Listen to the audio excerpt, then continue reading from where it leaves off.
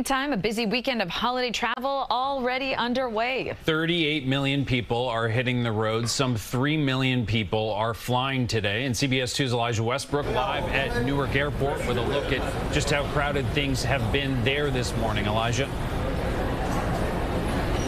Yeah, well, you know what, Doug and Natalie have to say the lines, at least they're moving, at least at this early hour. But we all know that in the uh, minutes, if not hours ahead, things certainly can change. Uh, right now, we're coming to you live from uh, Terminal B, uh, certainly an active uh, terminal at this time, as millions of people are expected to take to the skies for the unofficial start of the summer season. Now, AAA is warning of potentially unprecedented congestion on roads this weekend, along with airports that could be even more crowded than in years years past.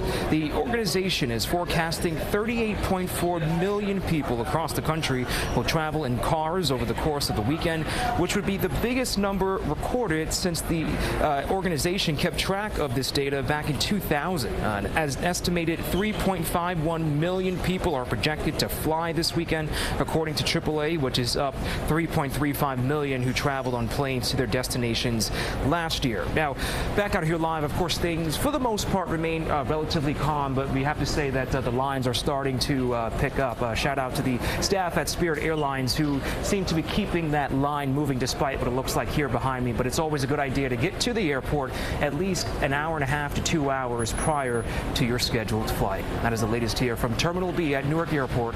Elijah Westbrook, CBS 2 News. All right, Elijah, thanks so much.